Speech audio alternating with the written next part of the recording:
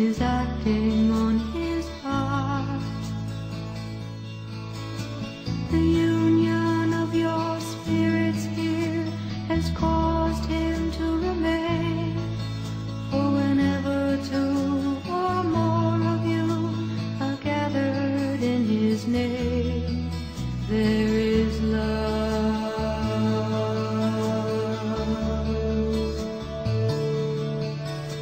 Spirit.